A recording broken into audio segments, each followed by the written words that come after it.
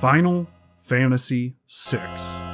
One of my favorite games of all time, and one of the best games ever created.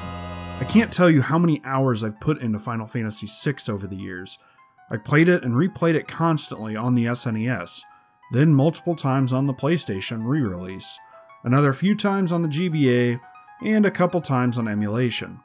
I think I've purchased every iteration of this game to come out other than the mobile port, and when the Pixel remaster comes out, I'll likely jump on that for PC as well. I know that mobile port gets a lot of hate, but I haven't played it. I'm not a huge fan of the character sprites, but I'm sure that's not that bad. I don't know. Since starting my channel in 2014, I've attempted to review this several times. Uh, once as a head to head matchup against Chrono Trigger, uh, one as merely a review, and once as a full blown character analysis and story analysis that I ended up pouring eight pages of text into. It was like 3,000 words, and I was not even halfway done. And I just kind of lost steam. It would have been a bear and one that I wasn't really ready to tackle. So instead, I'm going to do what I've had the most fun with recently, and that's do a shorter review, about 10 minutes long. And um, yeah, the way that I've been doing things lately have get, it's really given me new life. Final Fantasy VI was released in Japan and North America in 1994. Those poor PAL region bastards apparently didn't get it until 2002, as Final Fantasy was barely a thing anywhere but Japan and North America, I guess. I don't really remember what year I finally got my hands on the game, but I'm fairly certain it had been out for a while. I'd already played Final Fantasy IV by the time I played 6. I do remember my first experience with it though. I had a babysitter who worked at a video rental place, and she'd rent a few random ass games for us when she babysat. I think I first played Bubsy this way too. But I definitely remember getting to play Final Fantasy III. I don't need to go into the numbering conventions here, right? And I was like, where the hell's Cecil? Who are these people? I hadn't played the first game at that point, so I had no idea that the games didn't all feature the same characters. There was a save game on the rental cartridge that was in Vector. I don't know how I remember exactly where they were, but I do remember thinking Sabin looked a lot like Guile from Street Fighter II. I didn't really dive into it until I got the game from my parents, and once I did, I fell in love with it. Uh, one of my fondest memories was playing all night, and before the sun came up, my mom came downstairs, and I asked her, uh, I'm sorry, did I wake you up? And she said, no, she was getting ready for work. So I think that was like the first time I had stayed up all night playing a video game. That's a lot of exposition and rambling for me, so let's talk about the game itself. Final Fantasy VI has a legendary opening title screen. After a brief static screen that has the title with some of the developer and publisher info, you're thrown into what looks like a storm. Dramatic music swells until finally the title comes up in burning letters, with a digital chorus of operatic voices singing at you. This perfectly sets up the tone for the game. And if that's not cool enough, it launches you straight into the opening cutscene, telling you of a land bereft of magic with people relying on coal and steam powered machines to fuel society. Yeah, this game is steampunk, and I don't think I ever realized that until well after steampunk really became a thing among cosplayers and role players. There's an evil empire that's trying to revive magic through their experiments on magical beasts known as espers, and after discovering there is one in the distant mining town of Narshe, they send two Magitech soldiers and their enslaved mysterious woman who has control of magic herself. She's the only one known to be born with the gift of magic in thousands of years. And for the first chunk of this game, you'd think that this young woman named Terra is the main character. And well, you'd be kind of right. You see, the developers intentionally created Final Fantasy VI so that players could kind of decide who they wanted as the lead character. A good portion of the game forces you into certain parties controlling certain characters, but after all the characters have been introduced and a few quests completed with each, you're largely able to bring along whoever you want at any given time. Do you want Terra to be the lead character for your playthrough? Easy. How about the dashing treasure hunter Locke? Or Cyan the noble samurai? Technically, you can bring anyone through as your main character, and tons of people I've talked to over the years all have their favorite characters they like to use. There are 14 playable characters in the game, and some are actually optional. while you get a very large cast to choose from that actually highlights a minor weakness in the story. Some of these characters are flat as hell, and by flat I mean they have like one or two defining traits, never really evolve at all through the game, and are sometimes cast off by a good number of fans. Gau, the wild boy who can learn skills of the majority of the monsters in the game, is actually a pretty powerful character, but he has like one cutscene devoted to his character growth throughout the whole game. And because the time needed to make him a viable party member is way more than other characters, I had largely wrote him off as crap for years. I now know that he can be one of the more broken characters in the game. You can have him cast powerful second level elemental spells early in the game for no MP cost, with the trade off that he's uncontrollable for fights. But in those early portions of the game where you don't have easy access to those spells yet, he can tear apart parties of enemies with very little effort. Really, the whole story is pretty damn good and portrayed really well. I always kind of took Final Fantasy VI's cutscenes for granted through the years because I never really played it back to back with some of its competitors. Seeing some of these cutscenes after recently playing through Breath of Fire 2 and Lufia 2 really opened my eyes to how good these are all put together. The characters aren't quite as detailed, I think, as like Breath of Fire 2, but they're animated so much more expertly. The movements of these characters and their cutscenes give Final Fantasy VI a more cinematic feel. The characters aren't just standing still and delivering their lines. They move to face the character they're talking to, or they pace around as if they're anxious or they're thinking about something, or they'll have comical little surprised expressions or more threatening poses depending on the situation. I believe that the way the characters are animated and shown in these cutscenes really helps to endear them to players. The dialogue is probably one of the better translated pieces on the SNES. Sure, there are still some weird choices and errors here and there, but you're never left wondering what characters are referring to, and you never really feel lost. The narrative is easy to follow even with the twists and turns. The thing I want to note is that after years of playing this game, I've tended to go on autopilot when cutscenes come up. And going into this playthrough specifically looking to critique the game, I've noticed things that I had either missed before or just forgotten about over the years.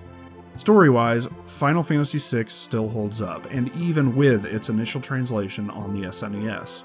I couldn't tell you how the GBA translation compares, as I haven't played that version in years, but if you're stuck playing the original SNES version for whatever, don't worry, it's still good.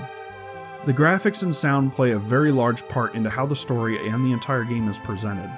Like I said earlier, the character sprites may not be the best on the system, but they're animated very well and detailed in a way that they definitely feel alive. The world around the characters is so well crafted. The colors are kind of muted, reflecting the state of the world, literally in a sense especially after the big midpoint part of the game. Enemies are all static and don't move or anything in battle, but are based on series artist Yoshitaka Amano's signature art style and are represented pretty well here. There are a few that are kind of hard to make out, but for the most part, they look great.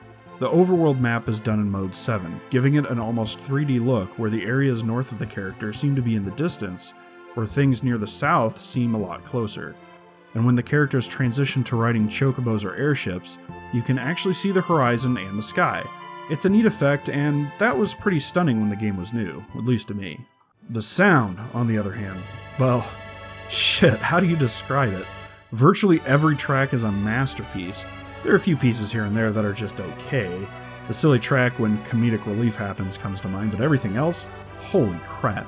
The SNES is at its best here. You'd think there's a tiny orchestra in your system playing these tunes for you. There is so much instrumentation, melodies and harmonies weaving around each other, strings, percussion, brass, wind instruments, overdriven guitars and bass, synthesized opera voices, which admittedly sound a little silly today, but man, at the time, holy crap.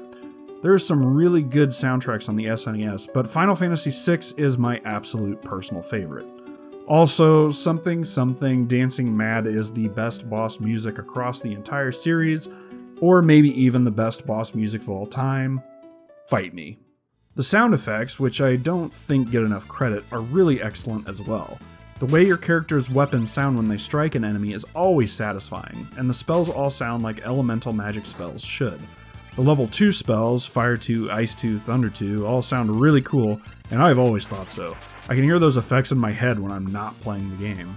As for the gameplay, well, it's a Japanese turn based RPG with random encounters. You control your character on a map, exploring until you hit a battle, where the game will transition to a separate screen to beat up enemies. Random encounters are not always great, but I'd argue that in Final Fantasy VI, they aren't nearly as bad as its predecessors or contemporaries. The rate isn't super frequent as seen in other games, and in places where battles do occur more frequently, it's not that bad. I say this because battles in Final Fantasy VI move fairly fast. There aren't a ton of animations to wait to play out. The animations that are there really help with the presentation of the battles and make them visually appealing, but without slowing things down, as was the case with Breath of Fire 2, which I reviewed a while back. In the SNES version, there's next to no loading time switching between the map and the battle screen, which I can't say about the PS1 port, unfortunately. So, quick, snappy battles really help keep things from becoming too much of a slog. Each character brings their own look and personality, and they all have a selection of weapons and armors that they can equip. I like these earlier Final Fantasy games where one weapon could be equipped by multiple people, rather than later entries where each character is largely identified by the type of weapon they carry. Characters all have their own skills as well, with some being way more useful than others. Locke can steal, which helps a lot in the early game if you routinely steal with him. I had no problems with healing items this time through because I was constantly stealing tonics, potions, and phoenix downs off enemies. Terra can morph into an Esper, doubling her attack power. Edgar has some super useful tools, etc., etc. There are some characters who have some not so useful abilities. Cyan has a gauge that you can fill to have him do a cool attack, but it takes way too much time to fill up to the higher levels. So you're better off just doing his level 1 skill or bringing along a Sabin or Edgar that can pull off an attack without waiting. Relm has a sketch ability that allows her to copy an enemy skill and it's buggy. It can even crash your game. And it's really not all that useful for anything other than learning enemy skills for her grandfather, Strago. And the way you learn magic spells in this game make a lot of those abilities kind of useless, especially later in the game. Everyone can learn every spell via the Esper system, and I typically end up teaching everyone every spell by grinding at some key points just because I like seeing those filled up spell lists, even if I don't use every one.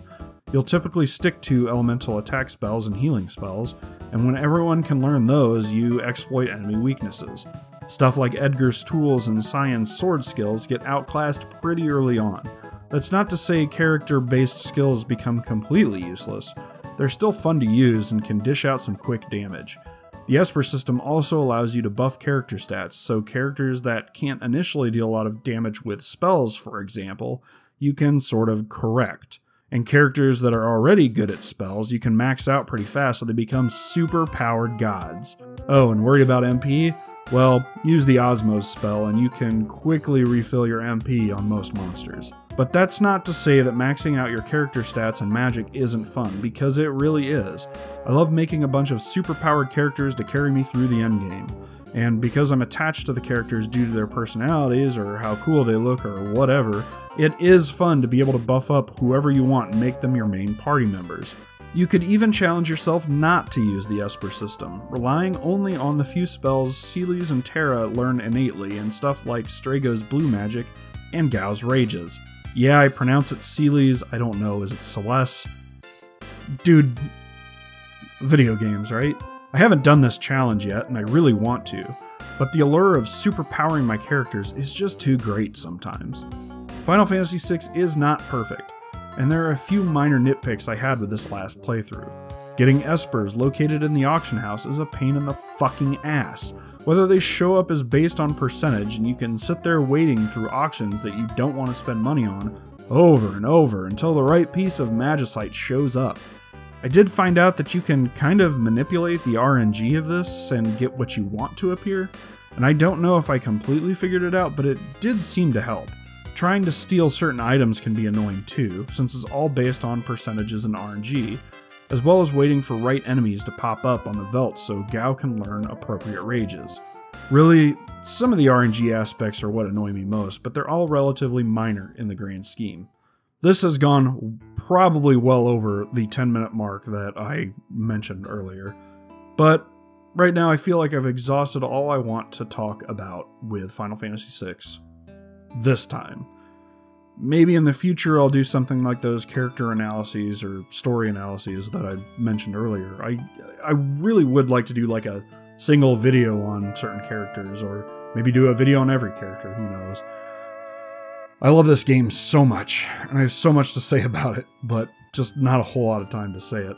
And I don't want this channel to become a Final Fantasy VI love fest. So, yeah, whatever. It's a freaking amazing game, and it's one of the best games of all time, bar none. It's just a damn shame Square Enix never gave it like a 3D remake like Final Fantasy IV got. That would have been really cool. But, you know, that's okay because it's still awesome the way it is on the original port. And this pixel remaster is looking promising. We'll see how well that comment ages, but for right now I'm I'm mildly optimistic. But hey, that's it. That's all I got. Final Fantasy VI is amazing. Play it if you haven't. Um, it's just probably one of my favorite games of all time, easily. Yeah. Okay, I'm done. See you guys later. Thanks for watching. Later.